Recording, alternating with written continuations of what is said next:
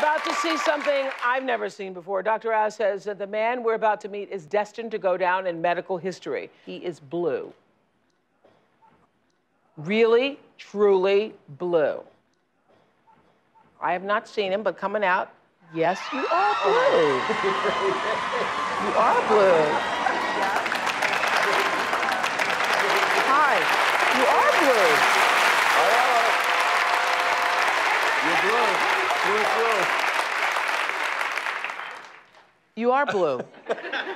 this is a first on the Oprah show. We have never had a blue man in all these years, really. Well, you don't have any blue makeup back there either. No, no, blue makeup. We don't have makeup for you. You weren't born blue, obviously. No, I don't think so. Uh, uh, Your scalp is blue. It looks, it looks strange. It looks blue. well, it all started when I saw an ad in a magazine. Yeah. Let me stop you right here. Dr. Oz, what is he talking about? Uh, you basically tattooed your entire body uh, with this silver. Well, it's going to save me a lot of money at the tattoo parlor, I think. Yeah, that's for sure. That's for sure.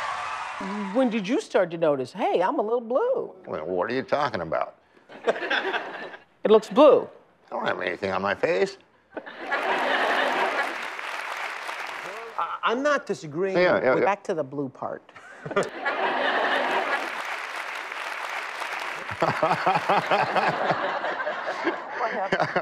Gee, I'm blue. Golly, golly.